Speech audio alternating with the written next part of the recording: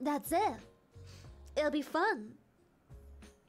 Do you have double eyelids? That's such an odd question. that is so oddly specific. I. I do? I am. that is such a very oddly. I've never had someone ask something so specific. you do?